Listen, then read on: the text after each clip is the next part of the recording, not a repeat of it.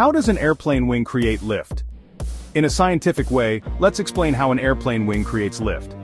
First, consider the speed. As the airplane moves forward, air flows over and below the wing.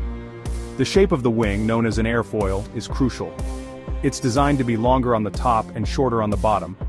This shape causes air to move faster over the top of the wing and slower underneath. According to Bernoulli's principle, faster moving air creates lower pressure. So, the pressure on top of the wing is lower than the pressure below it. This pressure difference generates lift. Aerodynamics play a significant role here. The wing's angle of attack, or the angle between the wing and the oncoming air, also affects lift. Air temperature and density are additional factors. Warmer air is less dense, providing less lift, while cooler air is denser, providing more lift. In summary, lift is created by the combination of speed, airflow, wing shape, and aerodynamics, all influenced by air temperature and density.